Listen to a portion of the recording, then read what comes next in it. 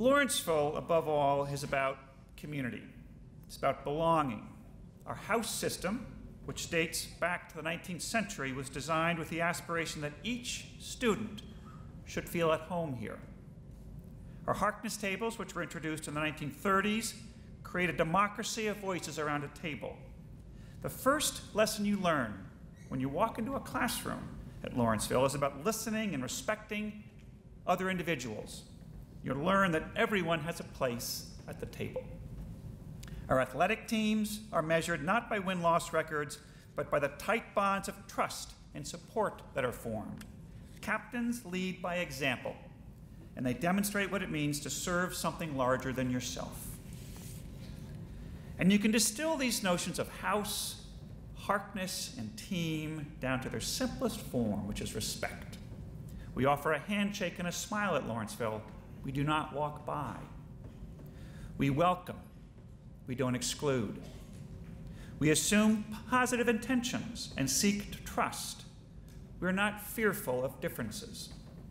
And above all, we support and encourage. We do not harass, denigrate, bully, or haze.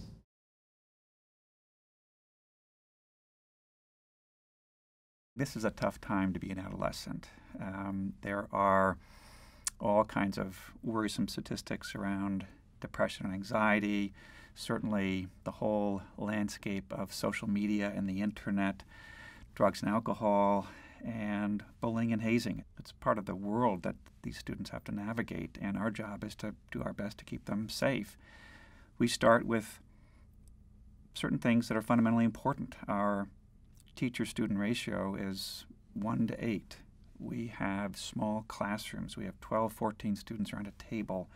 We have small dormitory units because part of the job of every teacher is to have a meaningful connection with every kid every day. And good teaching starts with a relationship. If something goes awry, we notice it. We're not perfect. Are there moments when we miss things? Of course we do. But we work very hard at it. We're very purposeful about it. We're not there just to pass on math facts. That's, that's the easy part, right? We're there to tend to intellectual development, of course, but emotional development, physical development. And what we do is fundamentally important. I mean, every year we graduate 200 or so students and send them out into the world with a sense of responsibility to work at making it a better place. And we equip them during their time at Lawrenceville with the tools, the confidence, and the wherewithal to contribute and make a difference. Lawrenceville is a challenging place, and there are all kinds of difficulties that arise. It's a high performance, high achieving kind of a uh, highly academic kind of environment. So, in my first fall at the school, and I was still trying to really understand how things worked, we were, it was the night before our first exam period. And you wonder are kids going to be hunkered down in their rooms, not sharing their notes, kind of separating themselves and working for their own you know, purposes? The student council organized a talent show.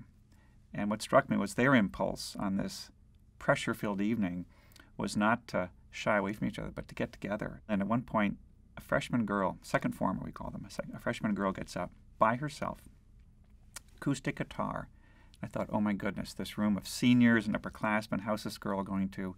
Well, she belted out this song, just crushed it, and the place exploded in applause. Here's a young lady who, after eight or nine weeks in the school, knew already that she could get out in front of the entire school like that, perform, and be supported. So we take student leadership very seriously at Lawrenceville, and when there are positions to be filled, there's a very selective process. Students are carefully vetted for it, and once they're chosen to be a prefect for the house system or a team captain, there is a training process and a sense of responsibility that is passed on to them. But there was a circumstance not too long ago where a number of students, underclassmen, thought it would be funny to rate female peers in their class, like a like a suitability to go to the prom with them. And a number of prefects got wind of it and intervened immediately and put an end to it. These students knew how to intervene and knew why to intervene, and that's part of their training. Well, historically, in a lot of schools,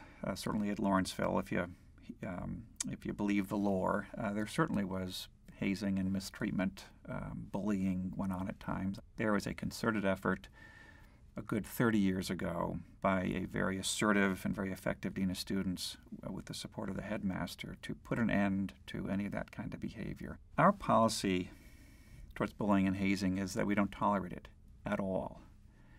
It's not part of who we are, it's not part of our culture, and we discipline students and send very, very clear messages about what is acceptable and what is not acceptable in this school. In my mind, when you talk about secret societies, when you talk about exclusive clubs, anytime you have some kind of a special privileged group where there are certain criteria to belong, any kind of secret initiations, again, I fundamentally feel that that is incongruous with and inconsistent with who we are and what we do as a school. And when they have come up in the recent past, occasionally we've gone after it aggressively and put an end to it. If a student finds himself or herself a victim of bullying or hazing or any kind of serious disrespect, there are an array of resources. They're surrounded by options. And it starts with prefects in the houses who have a certain training for that.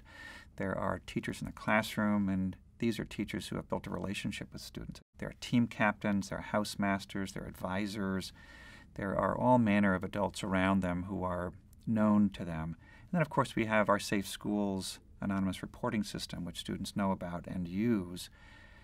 They also see the degree to which the Dean of Students Office goes after quite proactively these instances of disrespect or bullying, and they are aware of the disciplinary outcomes that occur when these things happen. We spend a lot of time training our faculty and staff around bullying and hazing and, and adolescent well, well-being in general because it's all related. And we work with students to help them be self-advocates and we work with our faculty so that they understand how to spot differences in behavior.